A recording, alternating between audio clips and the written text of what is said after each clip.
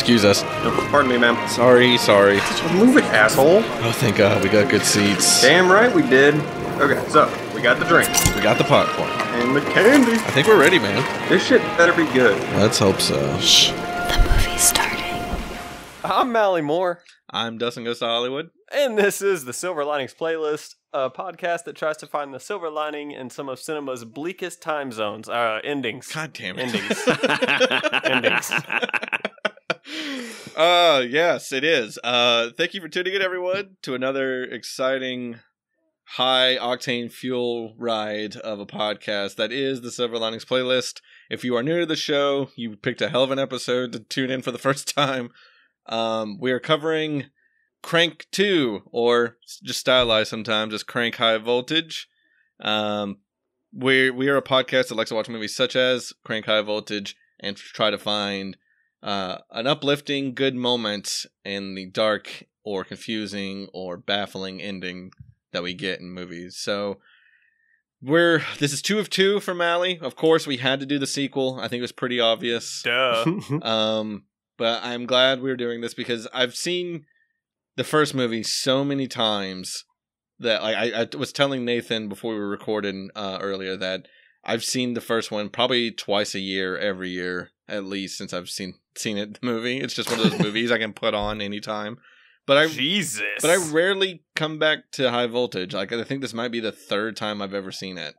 Um, but what a treat it was having not remembered a lot of what happened. To, it's almost like experiencing it for the first time.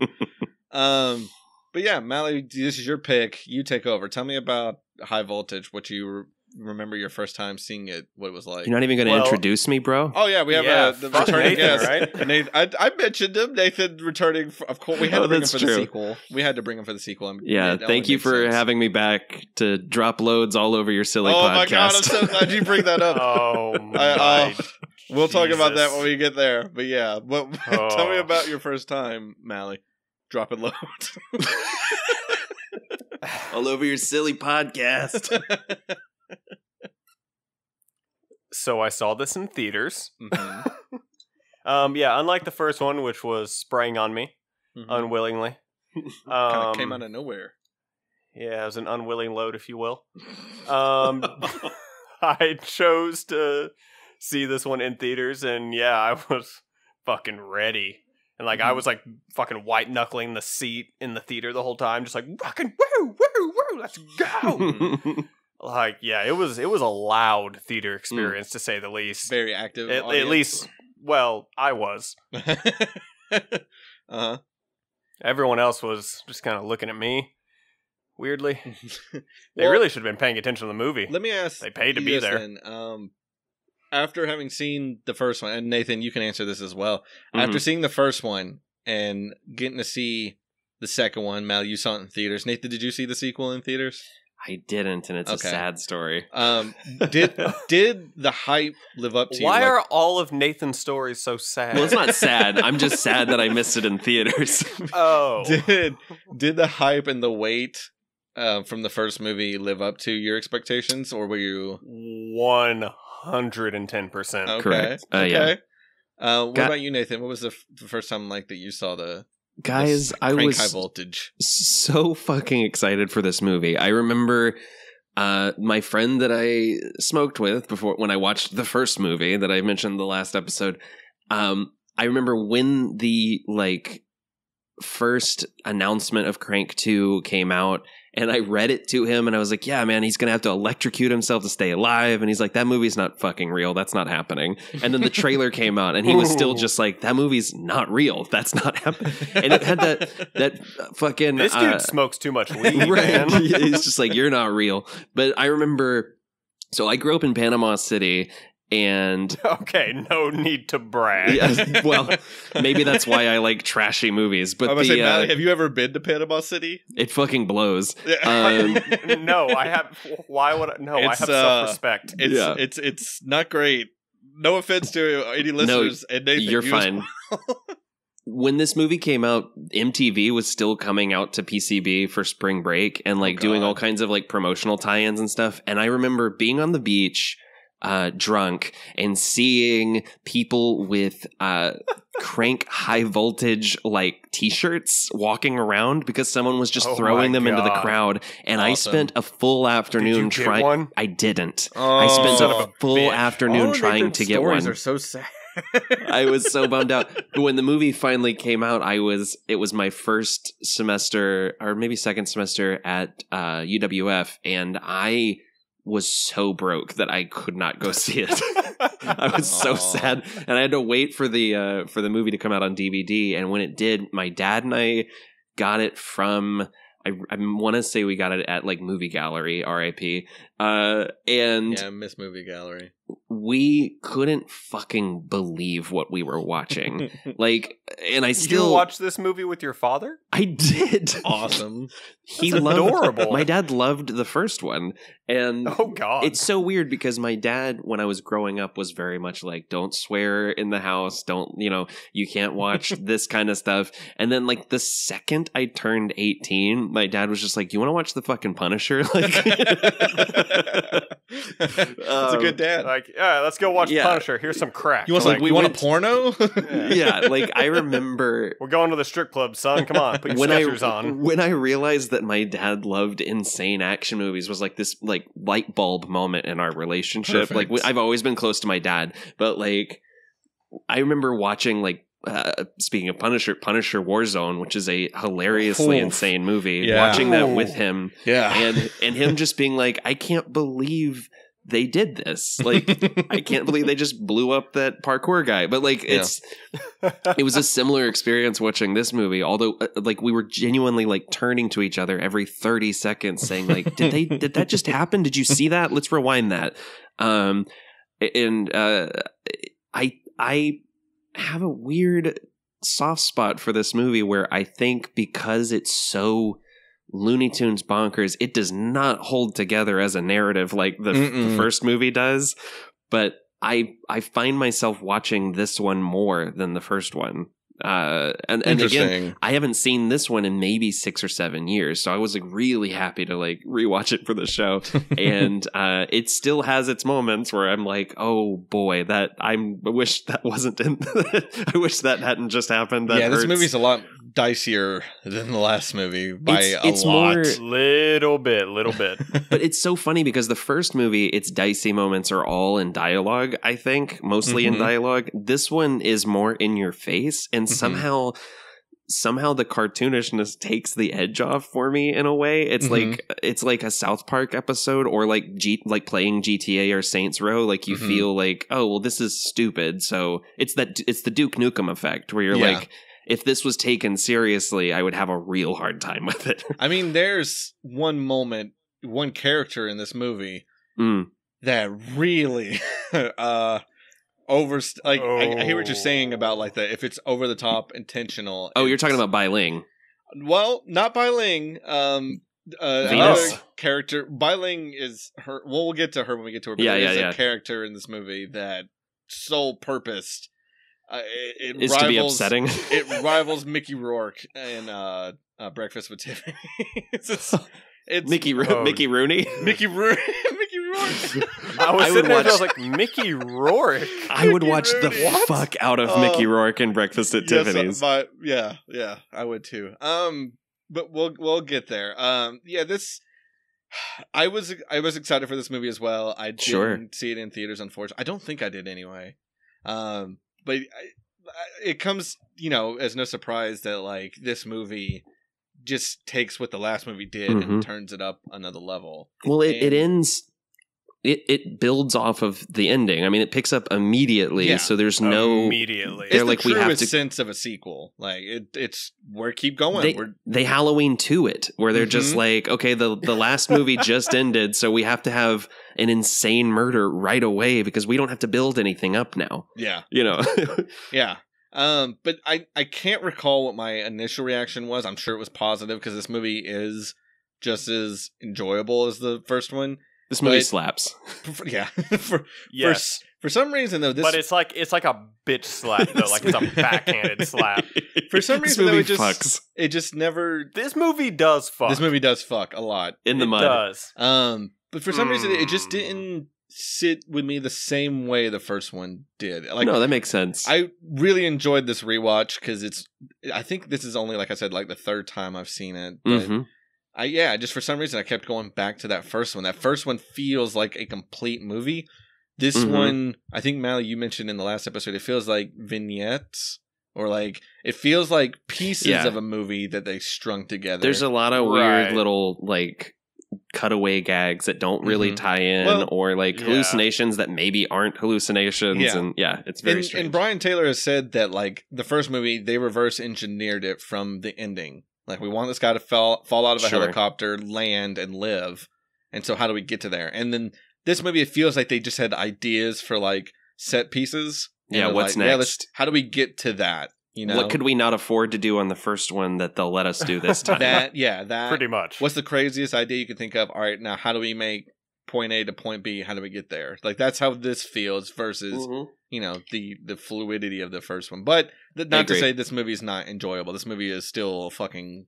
I mean, my only complaint is how do you have a movie called High Voltage and you don't use the ACDC song, which would have fit perfectly in this movie? well you know mike patton was probably like don't let their music Yeah. anywhere near my score Yes, probably. Um, Most likely, yeah. Well, let's let's get into it. Let's talk about the details surrounding the making of Crank Yeah. High Voltage. So the year is 2009, three years after the release of the original. Uh, the directors returning are Mark ne- uh, Neveldine and Brian Taylor. The movie stars a familiar cast: Jason Statham, Amy Smart, Clifton Collins Jr., who doesn't get enough screen time in this movie, i know he's Uh, so good Efren Ramirez, Bai Ling, David Carradine, and Oof. Dwight Yoakam. Uh, the budget was twenty million dollars. Uh, it managed to gross thirty-four point six million dollars worldwide, yikes and currently sits at a sixty-four percent, three percent higher than the original on Rotten Tomatoes. Wow.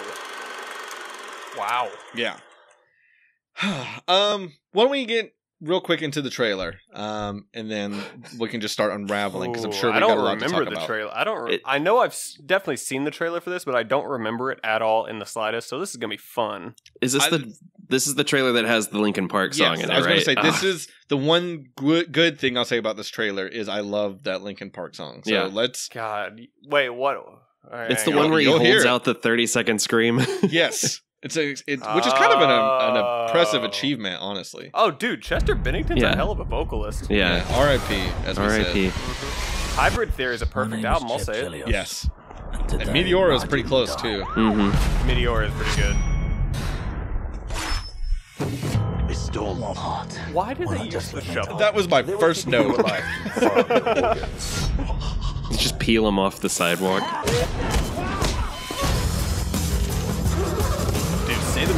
is jacked in this They gave you Yeah. an artificial heart?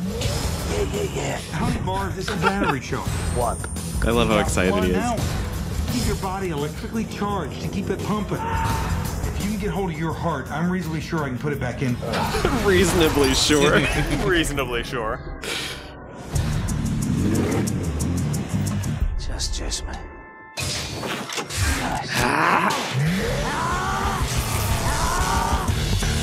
just play the same scream three times I'm so confused. Where have you been? I thought you were dead. Ah, that wasn't right, was it? Ah. Hola, Chip. Should I duck? Yeah. you guys know that's rufio Oh, is it? What? yeah Holy shit. the dude who cuts his nipples off You're gonna tell me exactly who's got more heart. I'm running on empty, Doc. Find someone to rub against. It causes static electricity.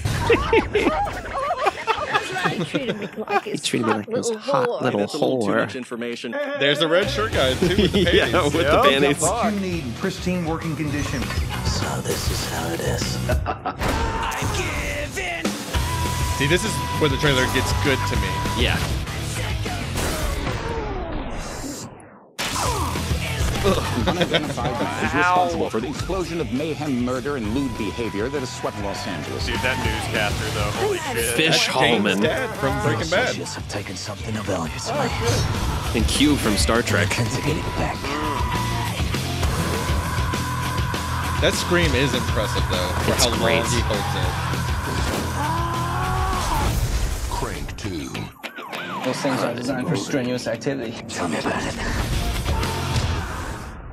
See, that's the, the second half of that trailer is Yeah, It's- I'll yeah. give you that. yeah, it's everything. it's, It's great. So many dissolves though. in the Yeah. um.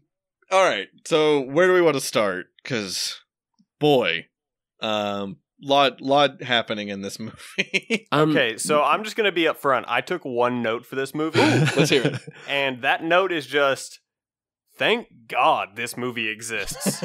That's great. that is a good note. You know And I something. left, and then after that, I set my phone down. I was like, "All right, I'm in."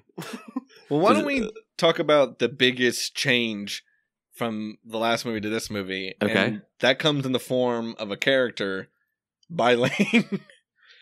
Oh, Um, Jesus. So that's where you want to start. let's start. Why not, man? We're picking up from the last podcast and we're just taking Mhm. the baton and running. So why Oh, not? actually, one thing I forgot to mention in the first episode: how Mhm. great is the name Chev Chelios? oh, oh, it's absolutely. all time. It's a Yeah. great fucking name. It's a great name. It's up It's there. up there. Yeah, It's up there. It, you would think it's like like a nickname for him, like Chev is short for something, but Yeah. I think in this movie you see like a medical chart and it just says Chev. Chev. Chelios. like, all right, Wait, I thought his full name was Chevy.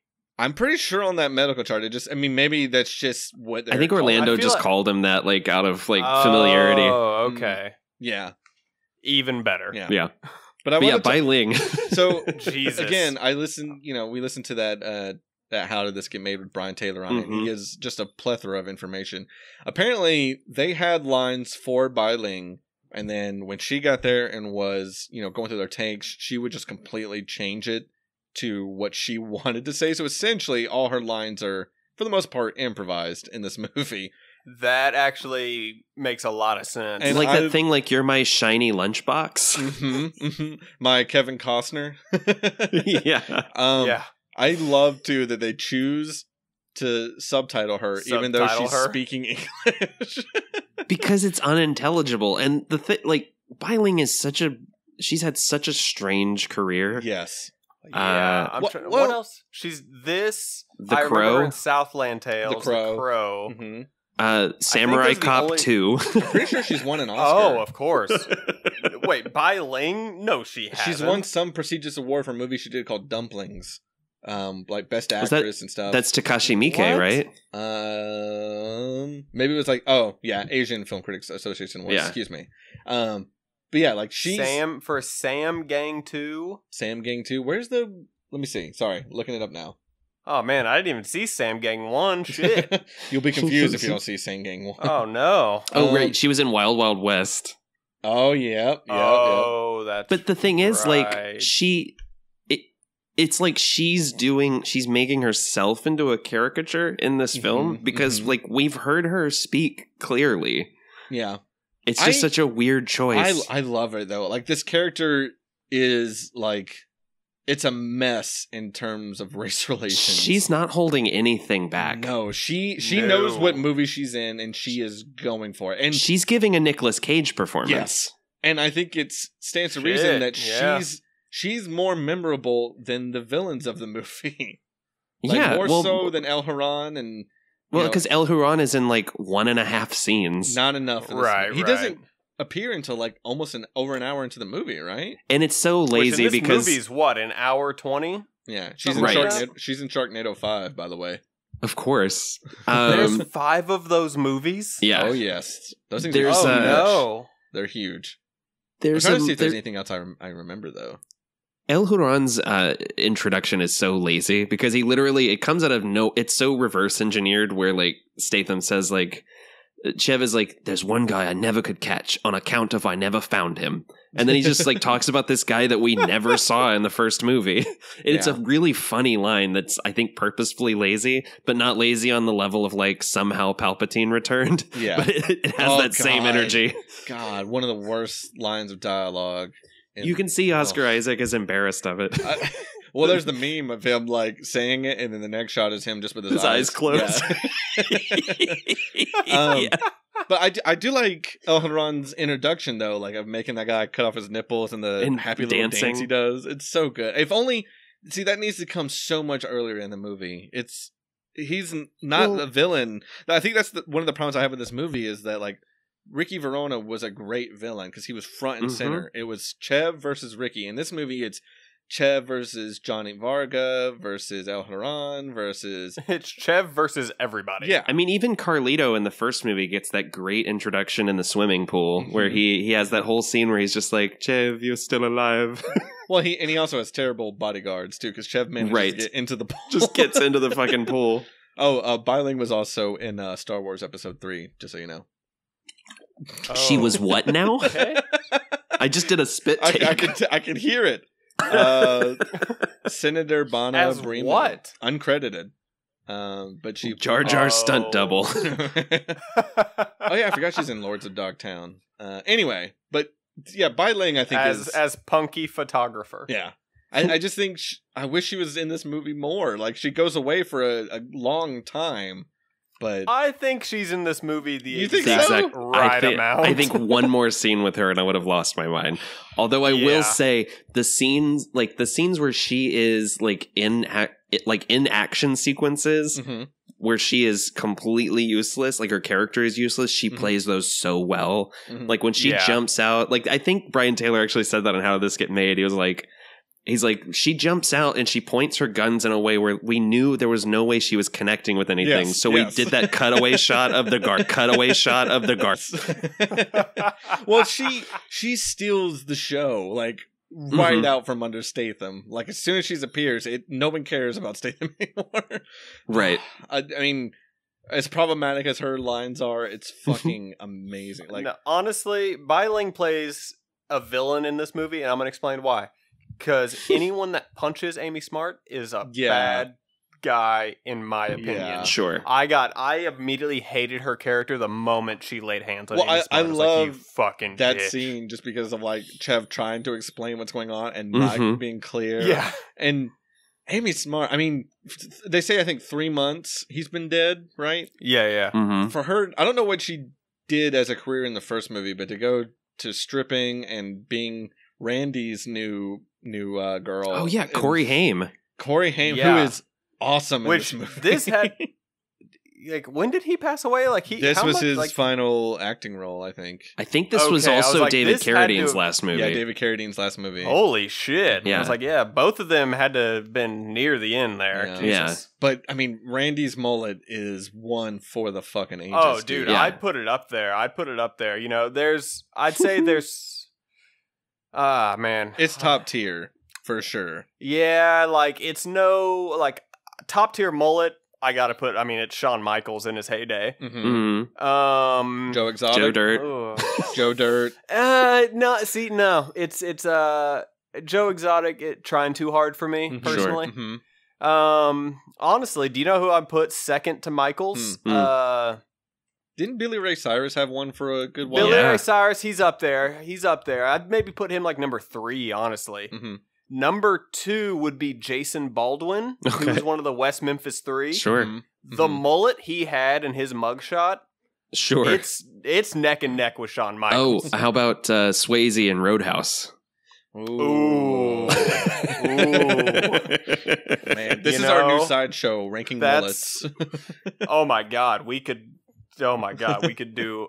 Uh, this ep- this episode could be hours long. um, Um, Swayze's is good. yeah, it's good. I do, I do like how they managed to somehow keep this movie within the same realm of like the last movie. He's poisoned and he's of got it. realism. Well, no, I was gonna say I Oh. like that. Okay, he's poisoned, so he's got to keep his adrenaline going. Yeah, In what's this the next movie- gimmick? Yeah, then this movie, okay, his heart is dying, so he's got to keep it charged. His And, fucking like, strawberry tart. his strawberry tart. I, I like how he has to explain that. Yeah. I mean, they, they- they apparently, you know, they wrote the last movie for like a Nick Cage type, and now that they Mhm. knew Statham was their guy, they let him improvise a lot more on this movie, like with his Oh, Cockney that's slang great. and everything. So and they like s- specifically wrote him as a Brit too, like this Yeah. time around. Yeah. yeah, yeah. Um, but I do say like this movie. He's British. Right. Um, this movie does feel like it's slower paced than the last movie. Like Yeah, this, Which I- is well, I mean, anything feels slower Yeah. paced but compared like to Crank even- One. like when he escapes out of this this this organ farming place, like it's kind of slow. Like it's Mhm. there's shootouts and everything, but like when he's just he shoves going, a gun up a guy's ass. Oh, a t- Oh my god. my my note that's, on you know, that's what I really like about Crank 2. It Mhm. uh, you know, it takes its time. It, it lets you breathe a little bit. sure. my And then he shoves a shotgun up someone's ass. my my note is just think of all the people that audition for the role of guy who lets a tar covered shotgun get shoved up his ass. like someone so imagine making the casting call for that. Wait, also, how like lubricating is tar? Can't be any, really? Right. Like, I feel like it's not that No. The little the little one liner of you can keep that is really good yeah, though. that's a great line. Yeah. Great line. Um, yeah, I mean, I j- it does somehow like we talked about. It feels le- uh, more disjointed than the last movie, but I think that's what hurts the pacing is like you have sequences like in the middle of an action scene you then have the cutaway of him on a talk show that may or may not have actually happened. It's That a, whole it's such a scene can be weird scene. It, I mean, yeah, it, very odd. I feel like that's odd. the their version of the elevator conversation from the last Right. movie, like them trying Yeah. to humanize Chelios. with Geri Halliwell from the Spice Girls. Yeah, Well, and that that talk show host looks he he, he looks like a discount Ben Mendelsohn. Yes, I Yeah. oh, no, Oh, I shit, thought he yeah. was I thought he was like a discount um Steve Coogan. Yeah. yeah. That that talk show scene could easily be cut and would just make the Mhm. movie that much better. I mean, we cut right from that to the them dragging him along in the Right. the boat, so we could easily get rid of that scene. There's a lot of stuff like that, but there's also a little, a lot of weird little moments that I love. Like when the dude, uh, oh, the part that made me cringe, I think the most when the guy gets his elbow Yes. sliced. Yeah. There's a lot of gory stuff in this movie that like I had to turn away, like the elbow slicing, the bit, nipple slicing. bit. Slicing. The close up on Johnny Vang when he goes, "This is new and exciting." Yes. it's really Yeah. good. Well, that's that's another thing too. Is Johnny Varga's not nearly as interesting of a villain as like Ricky No. was in the last movie. You know, it's like He's you you focus on a henchman for it's so long. well, he's a he's he's a henchman that I can feel him trying too hard to be crazy and ridiculous. Mm-hmm. Whereas Ricky Verona gave it like it, it felt natural to that character. Mm-hmm. Um, but like, so I guess we got to ask too, what's in the box, right? Like, I mean, hey, we get more. We do technically get more Verona in this movie. we do, and we will get there. holy shit, holy shit! But what, what, uh, if you had to speculate, what's what do you guys think's in that in that cooler? Oh, Marcellus Vargas. Wallace's soul. Yeah. Oh, yeah, duh, of course. No, I think it's the suitcase from Reservoir Dogs is in that cooler. Is it? um, yeah, I like I, the best part that comes of that character is the Godzilla fight, right? Because the Godzilla fight is yeah. fuck, it's the fucking Amazing best. It's on the best scene in the movie. There's a Oh, I'm it's wearing a Godzilla bonkers. t-shirt right now in honor of that scene. The uh the fucking You're bragging a lot on this episode. You know, it's that? not a big deal. I have t-shirts, you guys. Um there was uh I, something I never caught before, but you can see the seam in the back of the Statham head and the Mhm. stuntman's like hair just like pouring out Yep. of it. It's so Yep. fucking Well, funny. I love that they felt the need to make little models of the two guys, Lloyd Kaufman fight. and the other Yes. guy. Yes, just no. That's another thing too. The cameos in this movie are. Did you guys ins- catch Maynard James Keenan and I Danny did. Lohner? I did. Yep. I yeah. for the life of me during that scene, I kept thinking these guys look so familiar. Who the fuck are they? And then I looked it up, and my mind fucking exploded because I yeah. never knew that. And they're so fucking funny in that scene Yeah. too, man. Like. It- Maynard's like really nerdy and like super endearing. Like I don't know, it's just that that is a really funny scene that His that also could be cut, but it's really good. his delivery too of like I wanted a cat anyway and dogs suck and like when he keeps So good. zapping the dog and then not to, not to be outdone but Jason Statham gives some great physical comedy in that scene too where he almost does Mhm. like a little jig when he's getting uh, zapped And he like bites at him. He's like, "Ah." oh it's so good like that little stuff I don't mind because like that and the payoffs the payoffs from the Mhm. last movie like all the jokes they set up my "Oh my favorite, god, my favorite big the phone call the answering machine!" it's yeah, so oh, the good. phone call's so good. Because that's that's exactly what you would hear. Is just It's like, didn't you get my message? and it it perfectly undoes like the most heartfelt scene in the 1st Mhm, movie, or one of the most Yep. heartfelt scenes in the Mhm. first movie. It's so Yeah, no, that those are So those are some great gags. That and uh, of course Glenn Howerton's payoff with Oh, fucking one of the most insane scenes I've ever seen in a movie. I'm gonna floss my teeth with pubes. oh. Well, like the I love grossest how I love how they they could have just done a quick cutaway of the bullet coming through the window, but Mm-hmm. they give him a whole scene. Yeah. About how Chev Chelios ruined his life. yep. I mean, just it, not to, men- to mention that it's just doubling up on the ricocheting bullet joke of the 1st Mhm. movie with the bird. Yeah. Like, they they keep doing it, and then you know Brian Taylor's talking about like there's a lot of stuff they wanted to do in the first movie that they just Mhm. couldn't figure out how to do in the second one.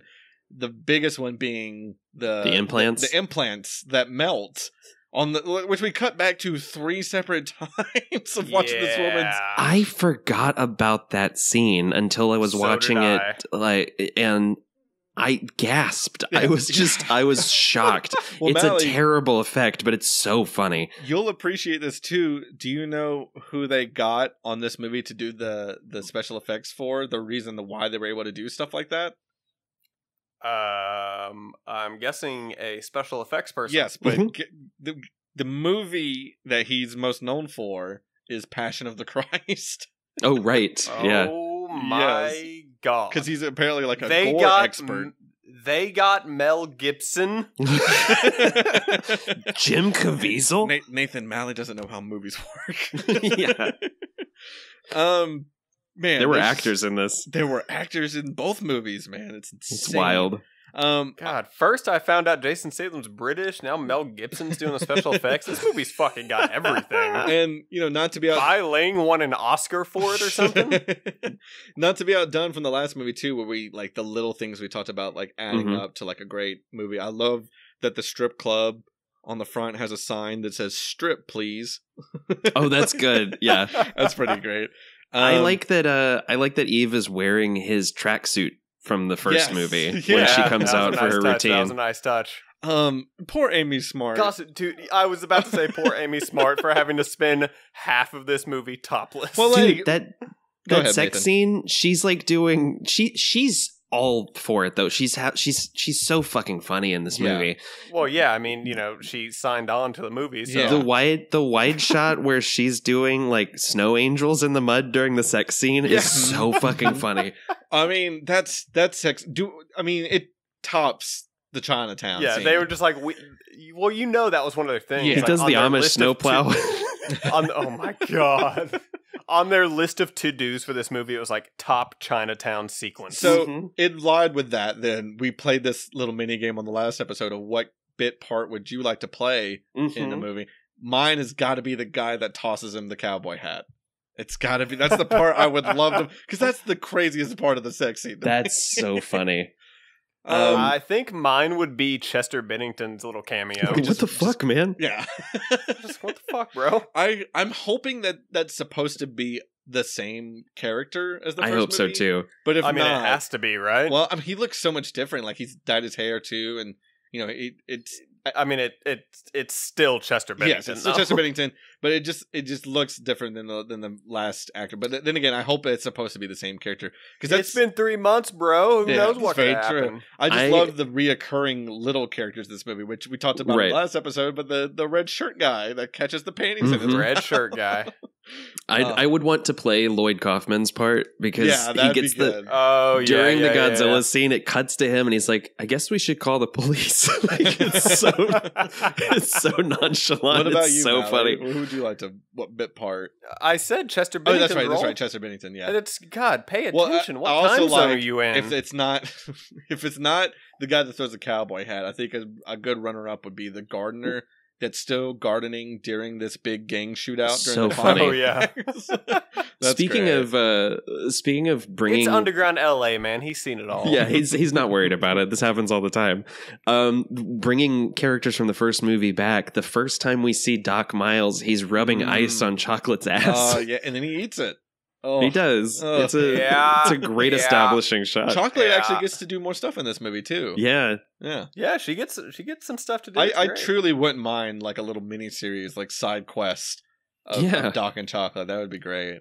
Uh, and Doc and Chalk. Doc even gets The to do more Adventures stuff. of Doc and Chalk. Yeah, because like in the last movie, Doc is a much more mild character. He's much more tame. It's just like he's there Doc for Miles gonna have to choke a bitch. God. Oh, so he's God, that fucking line, dude. he's definitely a pimp, right? Like he's not. It's not just him. I mean, yeah. well, uh, th- there was a point of contention on other podcasts about whether or not he is a pimp or if Chocolate's just a hooker that he's hired for her services or whatever. But like he's it's definitely so wild. Yeah, it's it's it, he's he's get he gets to do more, and I, I love his little demonstration of how Chev's artificial heart is working. Oh yeah, the little Th- We have to get all the way into the science of it for some reason. yeah, oh man, um, what else do we want to cover? Uh, I you know I still think this movie, just t- in terms of like the cinematography and everything, hmm I, you know. My before we started recording, Priscilla came in and said that she thinks this movie's better and it looks like it's better made.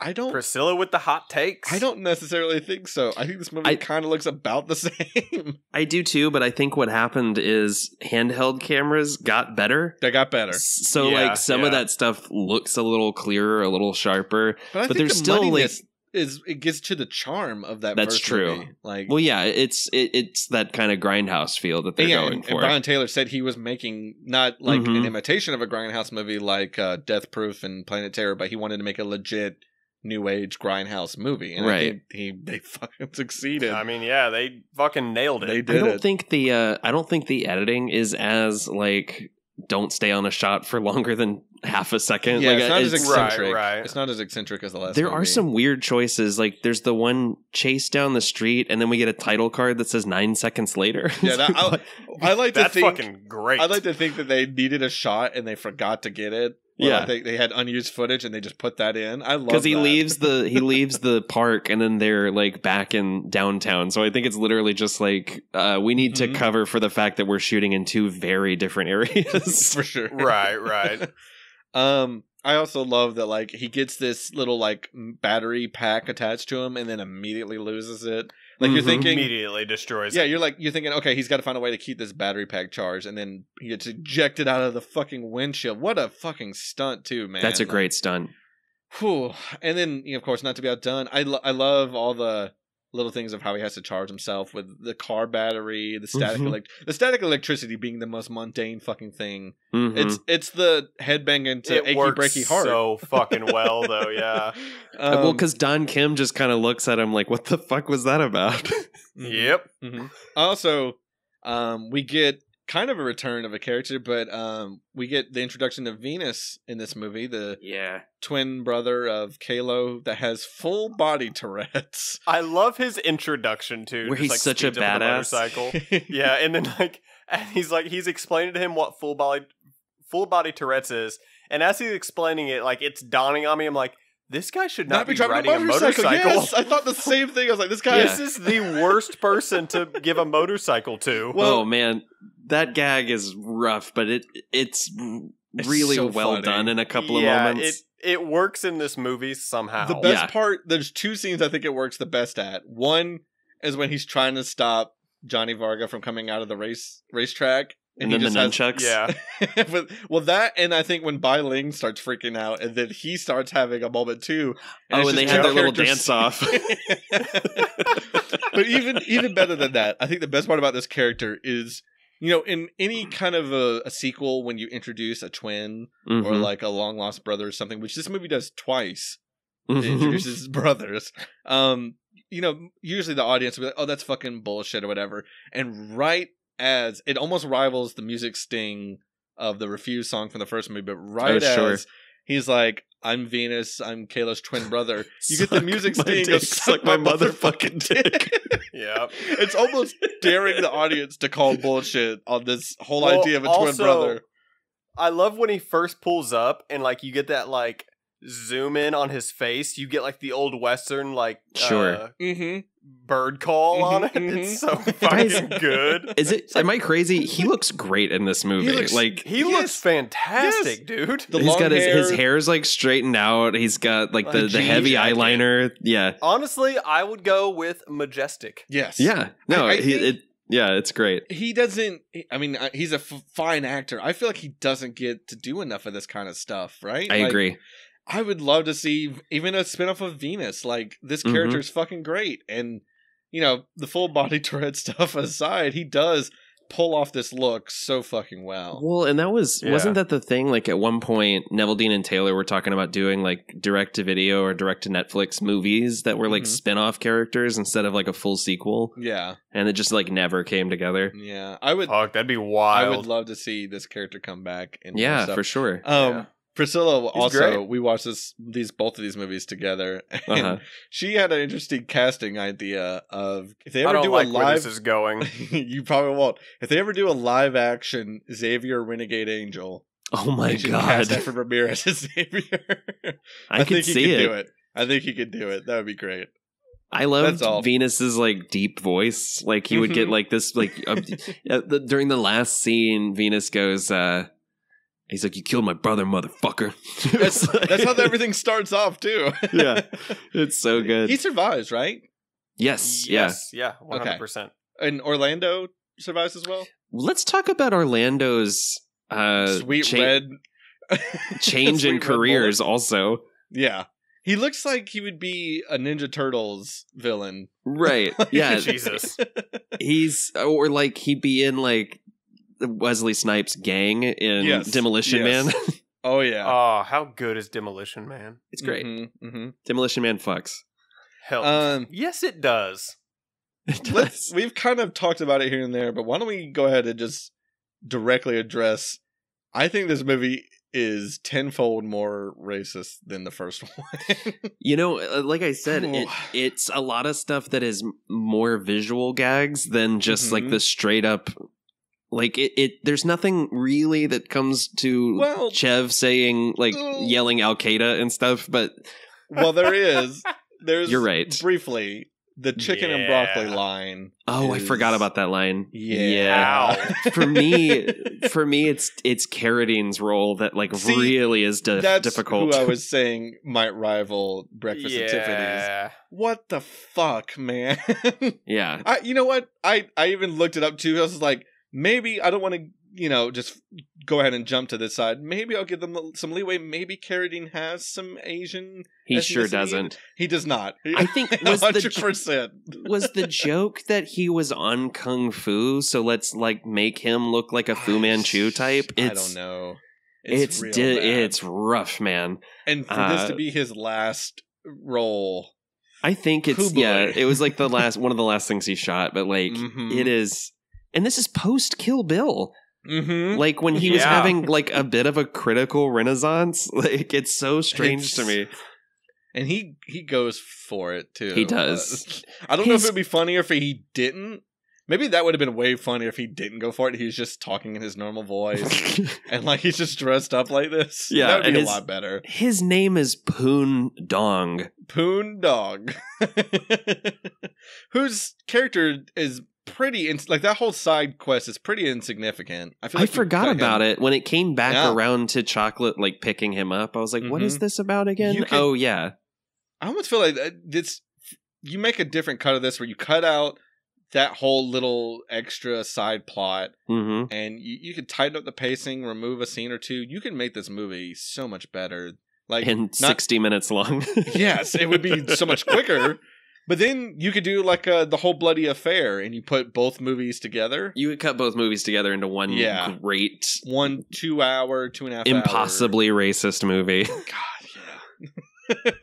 and I know uh, Taylor mentioned they were thinking about doing something like that, but Right. then that this movie is now a le- over a decade old. So, Speaking of uh, race relations in the Crank Oh, boy. series, oh do you guys know Oh, what no. like they what they briefly considered for the plot of Crank Three?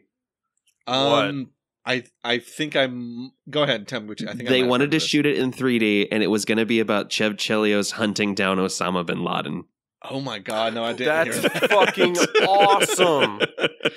I did not hear about that. Yeah. Ooh, but you know what would be even better is if they somehow tied that in with that uh Nick Cage movie where Oh my he's gosh, hunting Osama yeah. bin Laden. Oh The- man. The That was a great movie, description too. the, the quote from brian taylor was in like it was an interview with him that i was reading. I think it was with consequence of sound or something but he was literally like yeah it was going to be about chev hunting down osama bin laden but now that got fucked up. Like he was like mad. Yeah, it's it's unfortunate too because both you know Statham said he'll do it if he gets if uh, Neveldine and Taylor get the script ready for them, and now Amy Smart so said she wants to do it too. hmm And now, now that it's been so long, uh, Taylor said that the reason it hasn't happened yet is they haven't figured out a way to exceed the expectations or to like even meet them. Like Right. now it would be so. It, the longer it goes without a sequel, the more s- that's at stake. you know? Right. I mean, and people. It's funny too because I was reading a Reddit thread about what people think.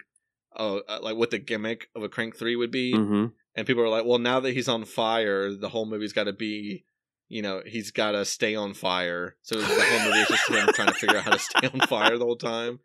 Um, and then the That'd reverse be of that, fucking rad too. No, the, because the reverse of that would be he's now that he's on fire. The, the next movie starts off with him like putting out the flames, and then he's got to he's got to stay wet. Keep the putting them out. Oh um, my god. he- that then Chev Chelios fights the Meg underwater. oh God! Wait, hang on. He has to stay wet the whole movie. I mean, the him the scene The him sex and scene Amy writes Smart just itself. wrote itself. yeah, the sex scene underwater. Yeah, you oh put it my like god. it's shark. He's got to fight a shark. You're a squirter, aren't you? oh, Oh Jesus Well, that's that's the Christ. scene. He's in he's in shark infested waters. He's got to fight the shark, but he's he's starting to fail, and so again, Amy Smart has sex underwater, surrounded by sharks in a shark cage. There you go. Boom. We just we just did it. wow, Okay, guys, I can't wait to shoot No, this okay, tomorrow. Dustin, Dustin, Mhm, mhm. come on.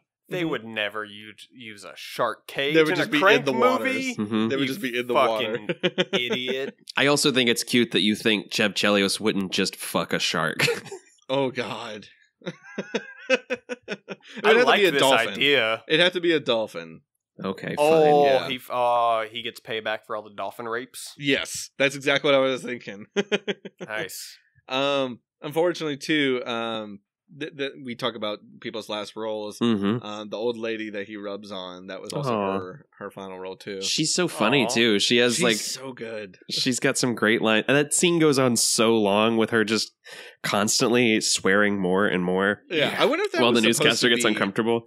I wonder if that was supposed to be like Betty White or like another cameo or something. It feels so obvious. Yeah. Yeah, Dude, if- I love uh speaking of newscasters at the beginning when they kind of talk about Ricky falling out of the helicopter too. Mhm, Like there's reports of another body following this area, but we're gonna chalk that up to the bullshit that it is. They That say was really as funny. He's fading out, like as Yeah. he's going to black. It's so funny. well, let's let's get to the ending then. Uh, let's talk about Ricky because what a fucking reveal! Oh, you, shit. It is the best. It's one of the best things I've ever seen. in a it goes movie, full man. Futurama, dude. It's Yeah. so fucking good, and I hope Head in a if they jar. ever, I hope if there is a Crank three that they keep that gag going. That and he maybe, gets a mech body. Ooh, Oh my god! Or is it his- like a Gundam. the last time we see Oh. Ricky Verona, he's his head is floating next to El Huron's body. Mm-hmm. So the next movie has to start with like both A heads being sewn onto the neck. I, And know, so wait, I kind of like this idea of a mech Wait, suit. and also their underwater ties in with the wet thing. You're right. God damn, they set it up, didn't they? Those I, I kind of like this mech suit idea because then you could top the Godzilla scene Mhm. of Jason Statham turning into like a fucking Gundam. Oh, has to fight yeah, okay. the mech suit version of Ricky. It's or Honestly, like um Crank Three is just an anime. oh my god. Yeah, or even better, you do like the Power Rangers thing of like all, all the villains come Right. together to form this just fucking monstrosity of a fuck. I'm calling it right now. Hayao Miyazaki's Crank Three. Mm, I'd watch it. I'd watch it. Crank 3, Mecha Chev. That's oh my god, that'd be amazing. Do you guys notice Um, the statues have copper pubes? I yes, Yep. I did. I mean, notice how, how do you not notice that? There's a very clear shot. There's a couple. There's also some of the most obvious squibs I've ever seen in a movie. yeah. Like Um, big patches yeah. under their shirts. We t- we talked about her briefly, but can we go back to Amy Smart just for a little bit, just because I, I I feel like you know the character arc for her is Mhm. it's unfortunate because it is a downward spiral. It's almost like uh like Jesse Pinkman for to, to Oh, Jason sure. Statham's Walt White. yeah, Like, a little She's bit, broken little by the end of this movie, man. yeah, like she's such she's so dedicated to him. Like what a flip from her being such a naive character in the last movie to Mhm. being full on just a total badass. And I love how like she's pretty much naked this whole movie. Like how committed she is to Yeah. And- But and- dude, in then in the third one though, you bring her back as almost like an anti-hero. Yeah. Mm. Dude, it could be great. I Like, love all the this- scene where she chucks Corey Haim into the windshield. Like that's Yeah. Oh, really it's good. So good. So good. I like when she's getting arrested by the cops and she feels the need to spread her legs while she's standing. it's so weird.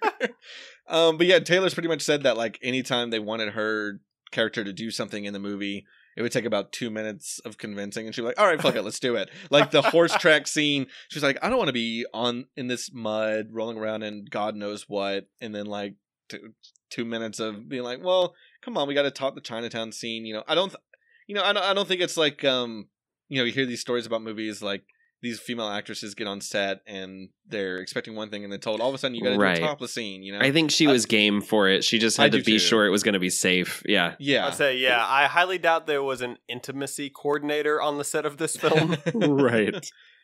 um. All right. Anything else we want to talk about before we get to the ending of the movie and we can recap it? Is there anything we forgot? Great gag with uh when Venus makes the phone call and the phone number is like a Oh, God, thousand yeah. digits long. It's just a good gag. yep, yep. Yeah. And I love pretty the the EMT pouring fluids on the dude's intestines to keep him hydrated.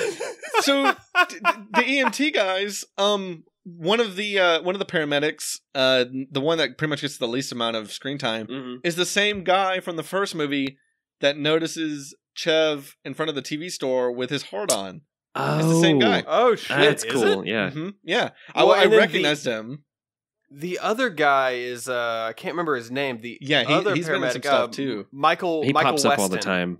Yeah. Yeah, he's in like Garden State, uh State of Play. He was on House MD for a while. Yeah, he, he was a he was a private investigator on House. That was like what I recognized Yeah. him from. Mhm. Yep, yeah, he's, he has a very recognizable face. Yeah. man. I miss House. That was a good show. Mm-hmm. Mm-hmm. Um, Anyway, what else? What else do we do we forget that we want to cover? Um, Um, Ron Jeremy's in this movie.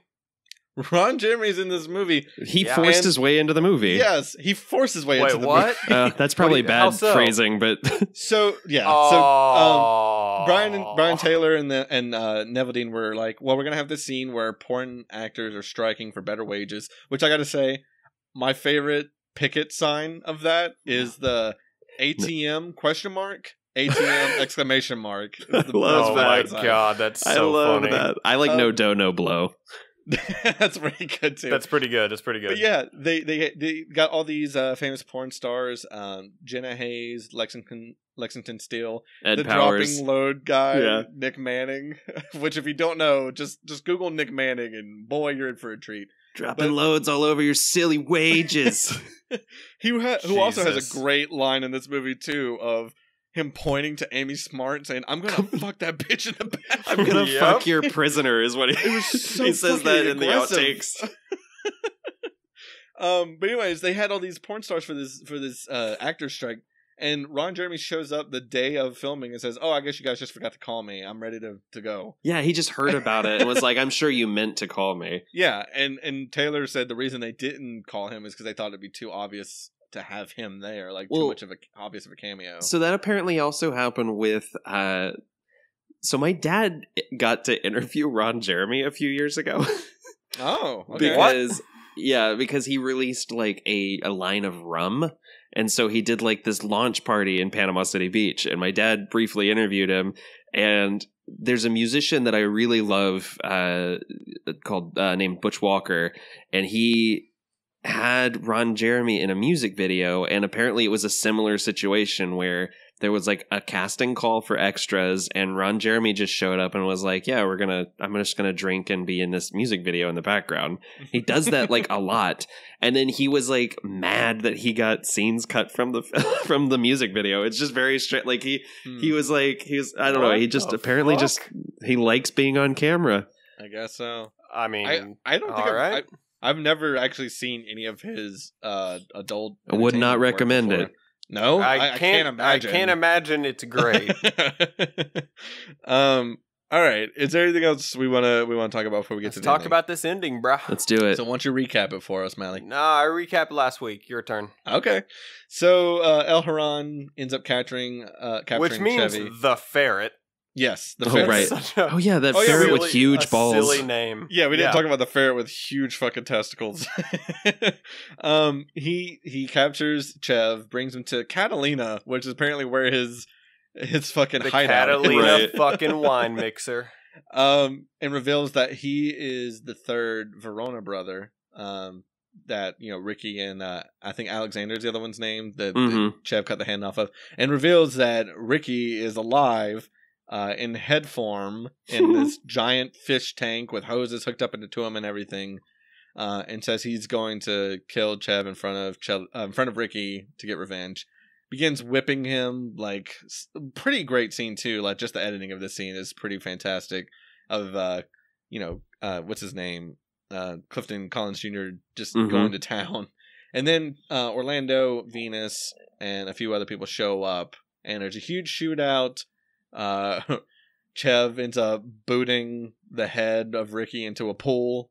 not after, yeah, not after, not after Ricky has a pretty great computer uh voice, pretty great and scene. subtitles that like glitch all Mhm. over the screen. It's great. Mhm. Um, El Huron gets shot. Um, and then Chev climbs because his heart's failing. Climbs a telephone pole and Mhm. grabs uh, a transformer by the, with both hands that So Rockets him. rockets him across the fucking way. Yeah. he's on fire because of the current. Uh, anyways, pretty much everyone of significance uh, that's on the villain side dies. I guess Orlando still is alive, right? Um, Mhm. I believe so. Yeah. Bai Ling, and Chev. And Chev is just overdrive now. He's on fire. He starts hallucinating, which this is my one real critique of this ending. Okay. He's You bite your you bite your fucking tongue, sir. He's hallucinating that Bai Ling is uh, Eve and begins having this beautiful like fantasy Keep of on him loving you. Mhm, of him kissing her, and then it cuts back, and because he's on fire and he's embraced by Ling, she is now on fire and Yep. is just running So around like a fucking funny. chicken with its head cut off in the back. Uh, and then Chev just gives. I don't the get it. What's what's what's to critique about that moment? It's I think it would be such a better reveal that he's kissing or embracing Bai Ling if you don't show her first, because it shows Oh, her. I and see what you're saying, and Oh, she's yeah, she you know what? slowly Okay. realizes it. Yeah. That would be the joke. Like you immediately cut after this beautiful fantasy moment, and you just see Bai Ling escaping his clutches, and she's just on fire. That's fair. that would be a, a better way to tell that joke. But anyway, it's still hilarious. And then yeah, Chev breaks the fourth wall and gives the finger to the audience as he is emblazed. um, so that's it. fucking rock and Cut the- roll, dude. cut to black. It's Well, Chev and then- is, and then we get the stinger scene. Yeah. um, where they've put Chev's heart back into him. That was the we forgot to mention the whole reason they're after David Carradine is because that's where Chev's heart has been put into. Mhm. Yep. Um, so they get his heart back. They put it in. He's pretty much burnt to a crisp from what we see under the bandages. All bandaged up. Mhm. and then we get the uh, the serial killer eyes opening at the end of the movie. right. Uh, so yeah, he's and still another alive, but- sad, another sad moment for Eve though, because she's like watches him Yeah. flatline. Like Yeah. fucking like screaming her head off and shit, crying. hmm Very so sad. it's it's it's kind of weird for this show because like in the vein of Crank One, he does live, hmm but it's to the detriment of a lot of deaths and a lot of physical violence towards your character. Plus, it just kind of goes in line with like the we did sorry to bother you, like that kind of what Mhm. the fuck kind of ending. And now he Uh, looks like Dark Man, like permanently. Yeah. The next movie would have to be him like harvesting skin from from other gang See, I, dude, I don't know. I feel like if there was a Crank Three, they would like play it for laughs. Like he Mhm. would be burnt to a crisp, and then like take a shower and just wash off all the burnt bits. That would- Yeah. I mean, that's Yeah. that's the Crank Three equivalent of scraping him off the sidewalk and he's fine. Like that. Yep. Or like the the doc is injecting him with something that like rebuilds his skin, but he's Yeah. got to Nanobots. He's gotta, yeah, he's got to keep injecting himself with something that keeps his skin from from turning back to That's good. fourth degree burns. Yo, dude. Yo, hold up. Plot twist in three though. Doc is the villain. Mm, oh, I'm into Doc's, that. Doc's I don't- I behind don't- it all, or is Ye- Doc turned? Ooh. Doc I don't fixes him up, but now he's like he's trying to control Chel- Chelios. I want them to do something with with Eve, kind of like uh, Mhm. Do something extreme like the the girl from Planet Terror with the the, the shotgun for a, Oh, for sure. leg. That'd be bad. Like- well, that's what I'm saying, dude. You built like she like after all this shit, she becomes like real dark, almost like an anti-hero. Like Mhm. Gets an eye like, patch for no reason. Yeah, fuck yeah, dude. And, like maybe her and Chevy fight for a Ooh. bit, but then they team up to take down Doc. Like You know what a it real. is? I want to make it a, Voltron like, together. make it a real personal story. Here's what you do. They one of the villains, some villain, kidnaps Eve, takes her brain out, makes her into Oh. like a robot, pretty much. okay, okay, Like I gives like her this. enhancements, and in the movies, he's got to get Eve's brain back. Guys, Right. this is actually the plot partially of one of the Sharknado movies. get the fuck out of here. Tara No Reid fucking dies way. and gets turned What? into a robot. Wow. Wow. What is going on in that franchise? It, I- I, yeah. gave up. I gave up. Uh, I well, saw one, and that was it. I mean that's Could- fine. Couldn't do the after more after the first one. I was like, I get it. That's fair. Apparently, you don't get it, dude, because they're That's doing very true. robots now. Guys, Yeah. I think we could write this Crank Three movie though. I Let's think do we it. could do it. I'm in. Um. All right. Any anything else before we get to prop cop? Any of the little? Oh, things let's go for forgot? prop cop. I'm going Yeah, first. I, I got know- one, bro. I know what I want have to. a feeling you're gonna take mine. Yes, Malik, I but am. Let's go. All right. Here's prop cop. I want Verona's head. God damn it. Well, do you want the head or do you want the entire aquarium? Because that's what I put down. I want Ricky's aquarium, like all right, all the tubes. I take the head. You take the aquarium. I can do that because I can get I can get a different head to put in there, like a different Oh, model. of a like head. you know how to fucking work it to keep a head alive. Right. I don't think I have to worry about being a functional aquarium. so it's a prop. yeah, exactly. Shut up. Well, tell you what. I, I, what I, if you're gonna take that? I'll let you have the aquarium since it's part of it. Then I'll take. Actually, you know what, Nathan? I don't want to take from you if you have the same one. What is there something you'd like? Oh this well, movie? see, my original thought was Ricky Verona's head, but actually, when I before I even watched the movie, I was like, "That's what I want." But uh, when I was watching it, I realized I want the little Atari joystick that Chocolate uses to play Mortal Kombat. okay. Um, That's fair. That's fair. I, I want the uh, the artificial heart then, the thing that's plastic oh, and covered in goo. Nice. That's I a think cool that'd be pretty prop. cool. It's Yeah. impossibly large. I love that they just so kind of chuck it in there and then Well, sew him back they- up. They shove it in after fucking the guy spits in there, and drops Well, cigarette like, yeah, ash. like so ashes a cigarette, spits in it, throws Johnny like Vang's an a, asshole. like A pair of scissors a pair in. of scissors into it. Like, Oh, God. Oh, Statham's reactions during that scene where he's just kind of wide-eyed staring yeah, down let's is really good. he's awake during the heart Yeah, transplant. It's really good. And he doesn't decide to fight back until he finds out they're also going to take his dick. yeah, they have no Yeah. problem with him taking his heart, his lungs, his kidneys, but as soon as they want to take that dick, he's like, What about oh, what about the scene, the weird flashback scene with Randy's old girlfriend where she says, "You got a big old dick for a white Oh boy, my though." God. Oh, that I forgot about that. You got a I want to watch a movie white about that character. There's a ton of little spin-offs we could get for this movie. yeah. Um. All right. Well, the only little bit of trivia I have before we get into Silver Lining is the dumb one. It's Amy Smart is in this movie, Crank High Voltage, Mhm. and she's also in another movie called High Voltage, which I thought was pretty funny. Oh wow. Uh, I have no idea what that movie All about, but uh, let's get into Silver Linings. What you got, Dustin? Uh, he survives again. All right. That's all I have. I couldn't really think of much, um, given given the ending of this movie. So, All right, I got one. It's for Doc. You know, Mm. he's a uh, he's a disgraced surgeon, Mhm. and you know because of Chev and all his adventures, he gets to keep performing his favorite pastime, and that is surgery. Mhm. on So yeah, so you know it's good. You know he keeps to you know he doesn't lose it. You know he keeps to get to do We his little didn't- hobby that he has. we didn't mention the reason Doc is a disgraced He- doctor. Yeah, his ex-wife's failed vaginal rejuvenation. rejuvenation Right, that he I did forgot in the that. basement. yeah. Um, what about you, Nathan? Is there something you can glean positive? Yeah. I mean, this ending? Venus. Venus got his revenge. he thought he thought it had been nice, stolen from him, but That's that's good, a that's big good, one. that's good. Yeah. Um, Once and- again, proving our guests are always better at this show than we are. do we think uh, Bai Ling survives? absolutely. Uh, yeah, she's got to, right? Fucking probably. Hmm. Yeah, I, I, I mean, we don't really know. I guess it's ambiguous, but I would ha- I'd have to imagine. I truly I guess another hope little so. silver lining earlier oh on in the shit! movie. Wait, dude, she come. She's got to come back and Crank Three as like Oh, yeah, she's out yeah. for revenge on Chev now. Mhm. Yeah, Fuck. yeah.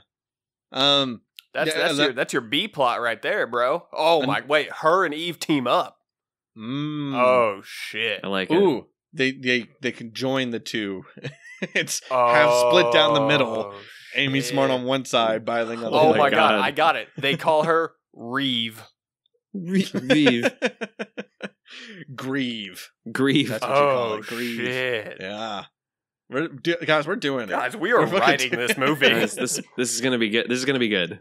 Another little silver lining though that we that happens earlier in the movie is Chev kind of rescues her from prostitution, right? Oh, like yeah. they're in that that uh Oh What's it yeah, I guess you're right. yeah. Um anyways, um do you I guess we we're probably all going to recommend this movie, but would you which one would you recommend over the other? This one or the Oh. original? I feel like so much of this movie depends on building off of gags from the first one that it's so hard for me I to agree. like to separate the two. Yeah. Um, I, I would definitely I I still prefer the first one, but Mhm. I have a newfound like rediscovery of my love for this one. well, like how many action movies end with a gag reel? Yeah, it, I didn't even know about this True, gag reel because I never saw it before. It's so funny. yeah. Um. What about you, Mallie? Which which would you say over one of the over the other? I mean, I kind of agree with him. Like, this one's good, but you can't appreciate it if you haven't seen Mhm. the first one. So I kind of got to give it to the first one. Like, I you really hope- need to see them both. Yeah. I really hope they do edit them together because it feels like that's something that both of these movies are begging for, you know? Mhm. I, I one long epic like this would be, would Mhm. be fantastic. Yeah. Um. Well, what about uh, a f- double feature of Crank High Voltage and what we like to call here a pick me up movie alternative? So basically, if Crank High Voltage is Oh. too much for you and you just want to come back down to happier Mm. or at least more upbeat times, what's a movie you could double feature with Crank High Voltage? I Uh, mean, I'm gonna have to give it. I'm gonna go. You know, uh, another Amy Smart film. A Mhm. uh, honestly, personally, one of the best films of the '90s, and I'm gonna have to give it to Varsity Blues. Mm. Ooh, okay. Okay. Okay. Um, I'm gonna go with a movie that actually just came out last year. hmm That seems to be Interesting. growing better with age. Um, every time I see it, it gets better. I'm going with a Mm. movie that Clifton Collins Jr. is in because I feel like we don't get enough of him in this Ah, movie. Marriage Story. Uh, no. I'm gonna go with Once Upon a Time. Dot dot dot in Hollywood. Nice. Okay, yeah. nice. Mhm. Yeah, he Mhm. is in that for that one quick scene. Mm-hmm. He has like But, I think yeah. one line of dialogue. Mm-hmm. That that movie gets gets so much better every time I see it. Yeah. Dude, it does. I've watched that movie like a few times now, and it just keep like I enjoy it more and more each time. Like the first time I saw that movie, I kind of disliked it, Yeah, I was a little underwhelmed. and I then guess like I Maybe watched I need to watch or- it again because I've only seen it one time and that was kind of my, Well, now my that you know- takeaway. Here, here's the problem with it. Seeing it the first time, if you're a Mhm. Tarantino fan, is you know Tarantino's shtick. So like Mhm. you're you're waiting for the shoe to drop. yeah, like all you're the waiting beats. pretty yeah. much. You're waiting for the the three fingers in the pub in Inglourious Basterds. Right, So You're waiting for that. In this movie, you don't really get it. It's a Right. much more restrained. But that's not to say. Oh man, Three Fingers in the Pub really reminds me of high school.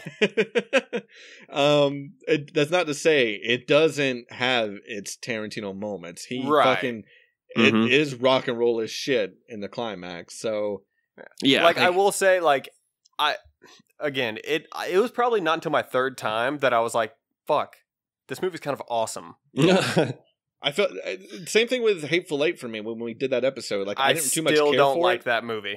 I didn't too much care for it, but the more I rewatch it, the more I Mhm. appreciate it. Not because I'm not, I don't have that weight of waiting for the expectations. You know. right. I actually like the Netflix rewatching cut of uh, uh the oh, Hateful the Eight. Net- miniseries. I Yeah, didn't I check actu- that out. I actually really dug it. Um, Okay.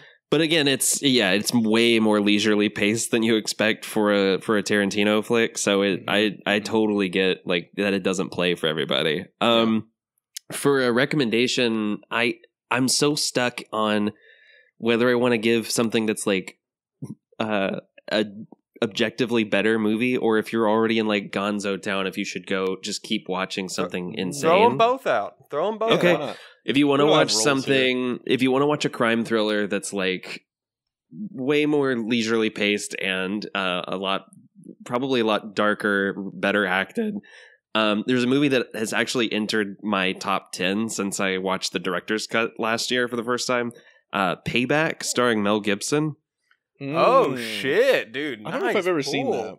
Okay, so I ha- I actually like that movie. movie rules and there's a there's a director's cut that was released on blu-ray called straight up or something like that like it's like it's a totally different film like the last 45 minutes of the movie are completely different it's a Really? really, it's like a hard-boiled unpleasant crime movie mel gibson plays a character based off of the parker character that jason statham eventually played they weren't allowed to What? use the character's name yeah Is that shit based on a book?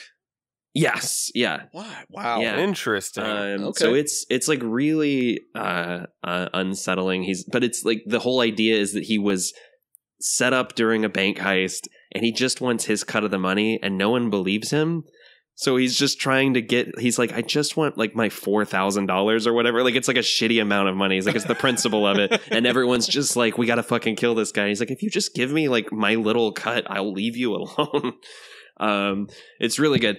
And then if you want to stay in uh, complete bananas territory, uh, Drive Angry, starring Nicolas Cage Mm. and William Fichtner, is Yeah. fucking rad. It's a fun movie. nice. All right. Well, uh, any parting words for the Crank franchise? Anything that we forgot before we get out of here?